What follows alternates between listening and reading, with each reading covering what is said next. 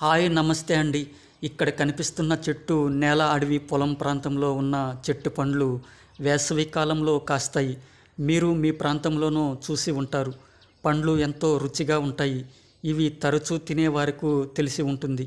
వీటి గింజలపై ఉన్న గుజ్జును తిన్న తర్వాత ఊసివేయాలి లేదా పొరపాటున గొంతులోనికి వెళ్ళే ప్రమాదము ఉంది. పండ్లు గుజ్జు చూడడానికి జల్లీలా ఉండి పైన ఉన్న తాట ఇలా ఒత్తుకొని తినాలి.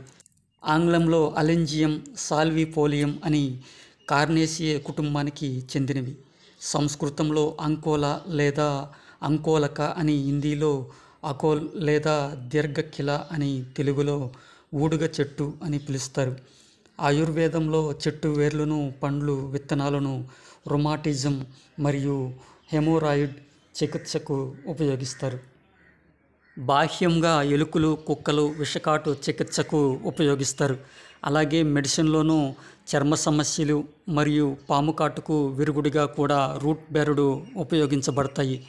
అలాగే కలపను పెస్టల్స్ మరియు రోలర్ను తయారు చేయడానికి ఉపయోగించి కొమ్మలను టూత్ బ్రష్గాను మరియు సంగీత వాయిద్యాలను తయారు చేయడానికి లేదా ఫర్నిచర్ తయారీకి వినియోగిస్తారు.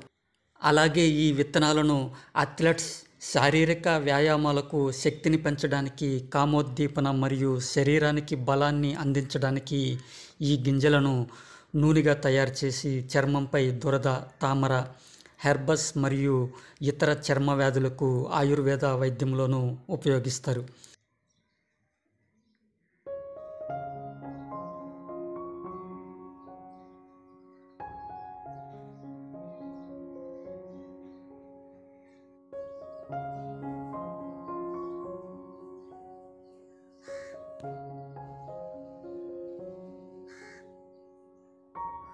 了。